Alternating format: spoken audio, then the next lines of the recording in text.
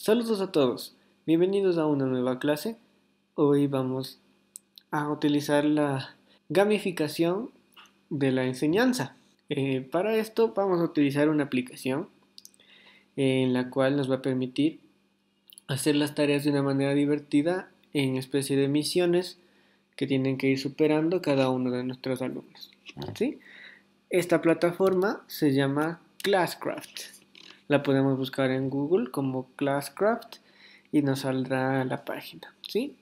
Eh, al ingresar a Classcraft nos va a aparecer esta interfaz. ¿sí? Nos está indicando la gamificación de clases eh, y cómo funciona. El sitio está en inglés, pero se puede traducir mediante el, explorador. ¿sí?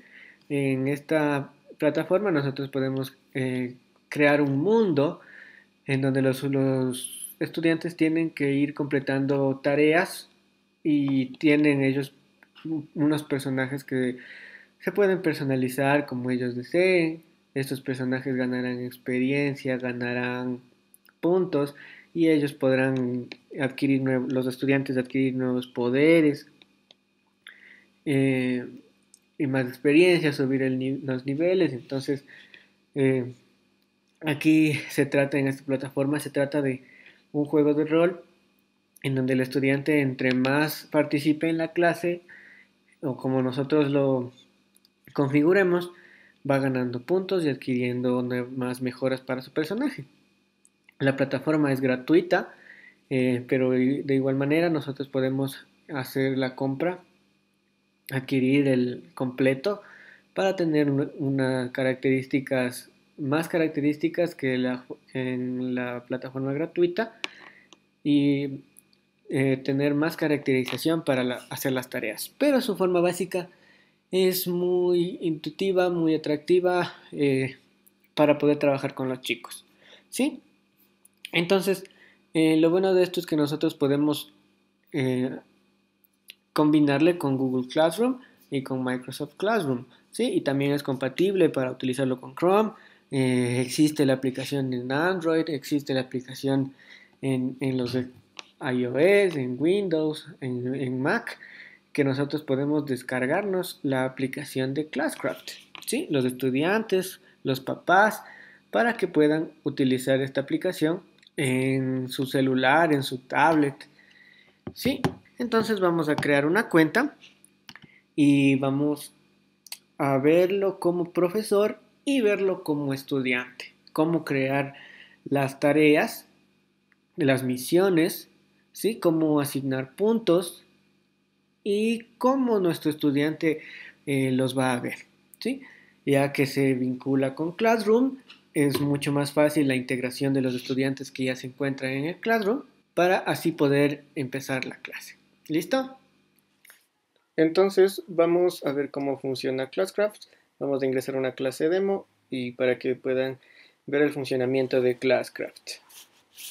Vamos a entrar en la clase demo para poder ver cómo nosotros podemos crear estas tareas, cómo ya serían creadas y cómo se ven nuestros alumnos.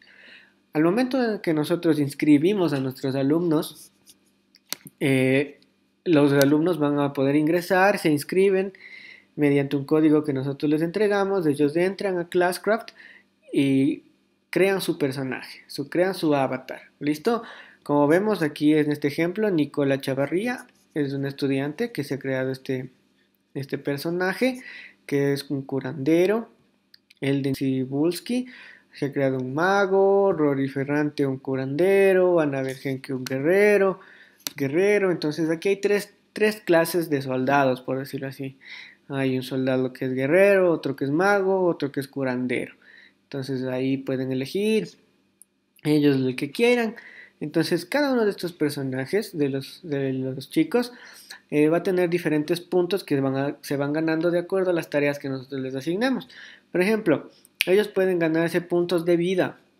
Estos puntos de vida eh, nosotros les podemos dar de acuerdo a los a cómo, cómo hace las tareas, si las entrega a tiempo, si las entrega tienen más en puntos extras si la hacen eh, de una manera más eh, si les dan un extra ellos de la tarea si los mandamos a colorear lo hace con, con, marcadores, dibuja cosas extras, busca imágenes, busca mejor decoración, le damos más puntos extra.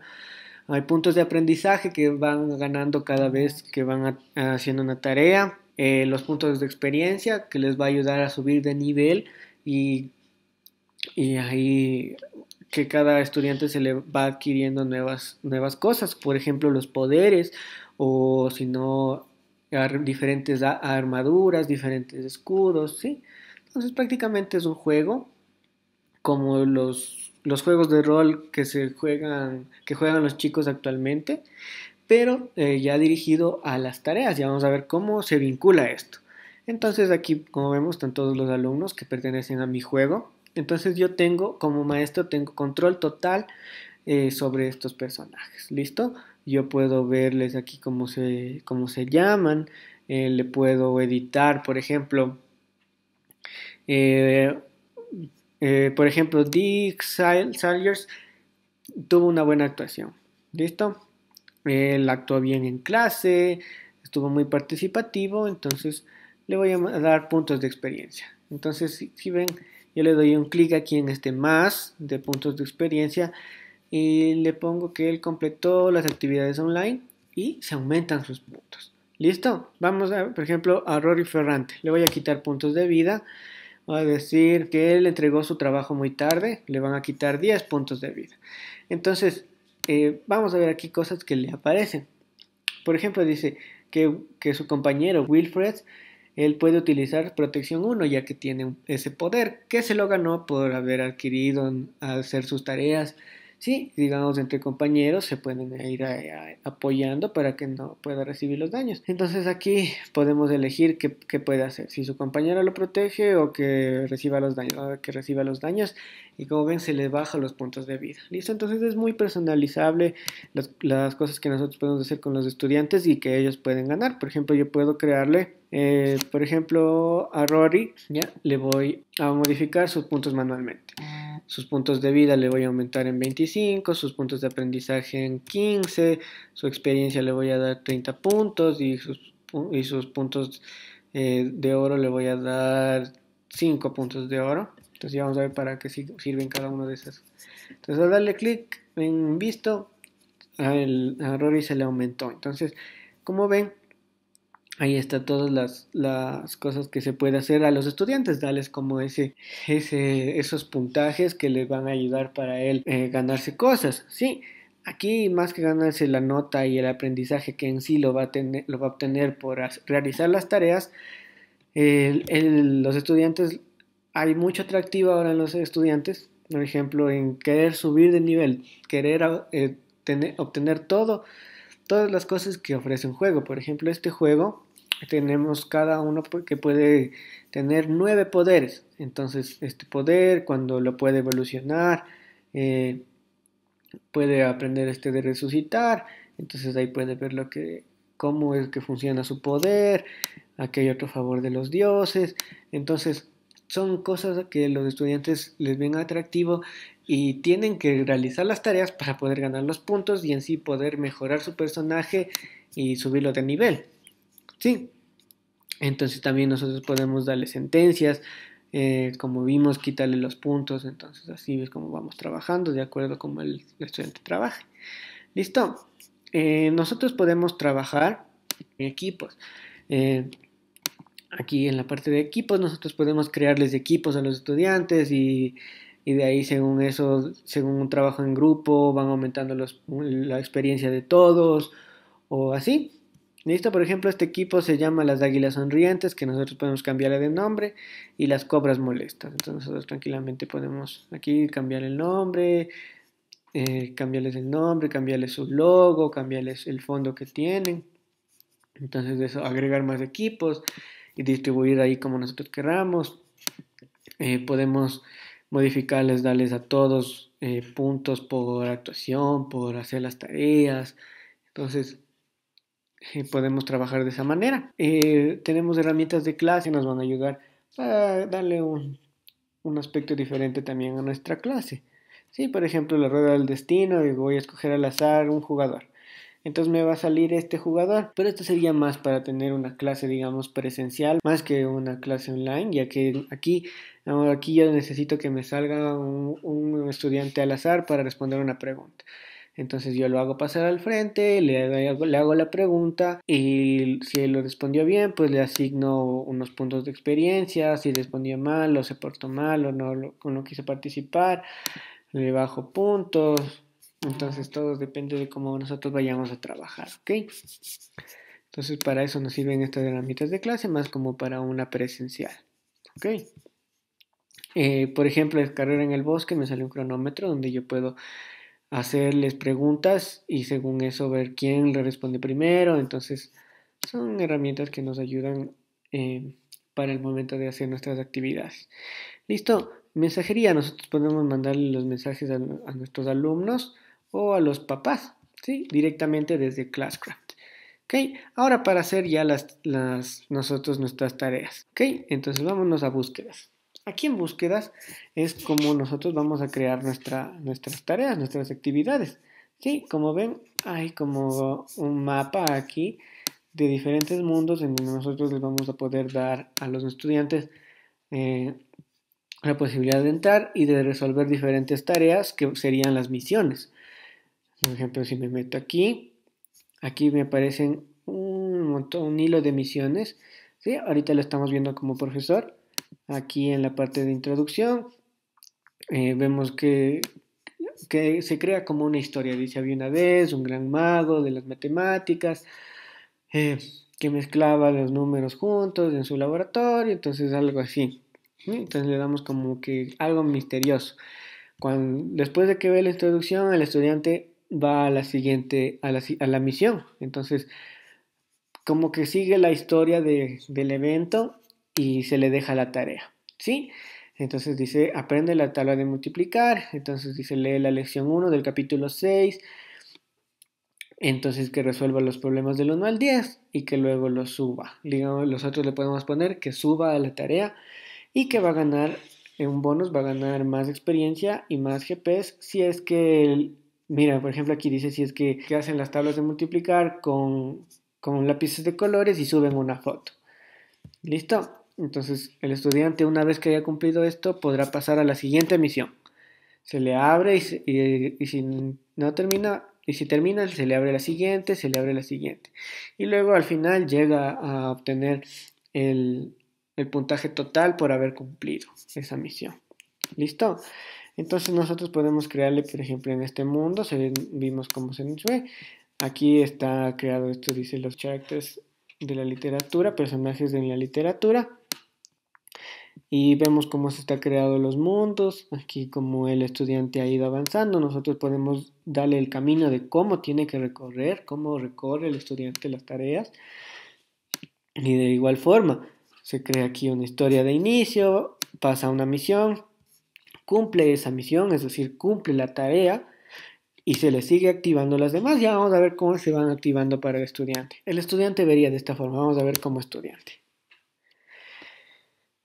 Listo, como estudiante estoy en el perfil de Nicola Chavarría. ¿Sí? Nicola Chavarría la vería de esta forma. Ella de aquí vería sus poderes. Ella no puede modificar sus poderes a menos que cumpla con las tareas. ¿sí? Eh, a ella se le puede ver aquí el cuadro de, del juego, donde puede ver a sus compañeros, puede ver sus equipos, puede ver la clase todo completa y ver cómo van sus, compañeros en el avance de, puntos y comparar. En equipo, el estudiante puede modificar su ropa, por ejemplo, aquí dice, aquí vamos a cambiarle de casco, ¿sí ven? Entonces ellos pueden elegir personalizar su personaje. Por ejemplo, aquí eh, quiere comprarse este casco de profeta, entonces le cuesta 100 GPs, que estos GPs se ganan haciendo las tareas. Entonces, si es que quiere modificar su personaje, pues tiene que cumplir sus tareas para ganar GPs y que pueda modificarlo. puede comprar. Ya lo compra y ya se lo puede ocupar. Entonces pone guardar cambios y ya está cambiado su, su sombrerito, puede cambiarle sus pantalones, ¿sí? Y como ven, todos tienen su coste, ¿sí? ¿Sí? Entre más exclusivo va aumentando, Entonces, por ejemplo, acá dice que vale 120, 150. No le alcanza. ¿Qué tendría que hacer? Hacer una tarea o esforzarse más en la otra para que le den muchos más GPs. Listo. Eh, aquí puede comprarse, por ejemplo, una mascota. Es muy, muy entretenido para los estudiantes que les gusta estos juegos de rol, que últimamente eh, se ve mucho estos juegos de rol en los chicos que, lo ocupan. El tener un personaje y personalizarlo y aumentarle de nivel y los poderes, por ejemplo, vemos los poderes que tiene. Tiene de santidad, entonces tiene 10 puntos para aumentar de poder. Eh, fe ardiente, puede aprender por, un, por uno de esos puntos de, de estrella.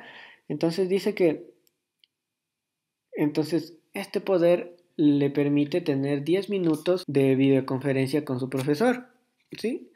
Entonces, al, aprender, ya tiene ese, poder. ¿Listo? Entonces ella puede utilizar ese poder para que hacer su conferencia con el, con el profesor y tiene 10 minutos de una tutoría. ¿Sí? Eh, que nosotros podemos modificarle, podemos decir que no, que fe ardiente sea que el estudiante, que fe ardiente sea que gane más puntos eh, de, experiencia eh, si es que realiza la tarea con, si es que envía la tarea a tiempo. ¿sí? Eh, nosotros como profesores tenemos la, posibilidad de modificar que, cómo funcionan los poderes de los niños, de los chicos. ¿okay? Ejemplo de curación, dice un compañero gana 10 HP. Entonces nosotros como profesores le podemos dejar o podemos ponerle aquí el equipo gana 10 HP entonces ahí el estudiante va a querer ganar ese, tener ese poder para que los demás, sus demás compañeros se vean beneficiados y también él mismo. Entonces los, hay poderes bloqueados que necesita, que como ven tiene que, tiene que comprar el poder de resucitar para poder crear el de oración. ¿Sí? Entonces así es como trabaja los poderes. Entonces como vemos aquí ya se le ha cargado. ¿Listo? Ahora en búsquedas es en donde se encuentran sus misiones. Como ven, la misión que estaba aquí de los personajes literarios no se encuentra porque como profesores aún no lo publicamos, ¿sí? Entonces el estudiante no lo puede ver hasta que lo publiquemos. Solo puede ver esta de aquí. El gran multiplicador. Ingresa y directamente le sale la, introducción, le, le indica el cuento, entonces empieza la misión y como ven se le va directamente a la primera. Ya no, aquí las otras misiones que estaban no puede ver el estudiante hasta que cumpla esta tarea de aquí. Entonces el estudiante ingresa, le indica como una historia, le indica la tarea, entonces luego el estudiante pone tarea finalizada. Entonces como ven no pasa nada. ¿Por qué? Porque aunque termina la tarea, nosotros como profesores tenemos que revisarla. Entonces vamos a regresar a la, a la parte de profesor. Entonces nosotros vamos a ver acá. Ya, miren aquí. En la actividad tenemos notificaciones que Nicola Chavarría aprendió un nuevo poder, aprendió otro, otro poder y que completó la misión. Entonces nosotros entramos y vemos que Nicola ah, lo ha realizado entonces aquí ponemos el resultado, si lo hizo bien y lo hizo mal. Si lo hizo mal, eh, no se le desbloquea el objeto, pero si hizo bien, se le dará las recompensas que nosotros le, personalizamos. Le damos que está muy bien la tarea. Entonces, como vemos aquí, se van llenando eh, unos... Se van llenando esta barra de progreso. ¿Sí? Entonces, como ven, aquí ya se llenó la barra. Está pintada. Pero si le quito, miren, está como que no ha cumplido la misión. Entonces le vamos a ver que sí ha cumplido la misión. ¿Listo? Si cumplió la misión, como ven, miren. Entonces nosotros podemos darle si es que lo ha hecho o no lo ha hecho. ¿Listo? Entonces el estudiante va a poder así seguir avanzando en sus misiones. ¿Listo? Vamos a la Nicola Chavarría. Entonces yo ya le activé que tenía dos misiones más. Entonces el, estudiante al ingresar ve que ya está cumplida la introducción, ya está cumplida la de la misión que tenía que hacer las tablas de multiplicar y ahora dice otra tarea, memoriza y memoriza. Entonces ingresa y le da otra parte de historia, le da la tarea, entonces qué es lo que tiene que hacer, practicar en grupo y, ahí entonces tiene que enviar su tarea. Entonces la, realiza la tarea, tiene tarea finalizada y tiene que esperar que su profesor lo califique para seguir avanzando. Entonces las notificaciones le llegarán a su teléfono, a su computadora, como vaya avanzando el estudiante. ¿Listo? Igual el estudiante puede utilizar mensajería, pero únicamente puede enviar el mensaje al profesor. No puede estar, chatear con sus compañeros, pero puede mandar un mensaje para la clase, es decir, para todos sus compañeros, no exclusivamente a uno, pero le llegará también al profesor. ¿Listo? Entonces, así es como trabaja Classcraft. Eh, espero que les haya gustado. Esta es una aplicación muy buena que nos puede ayudar para mejorar nuestra clase.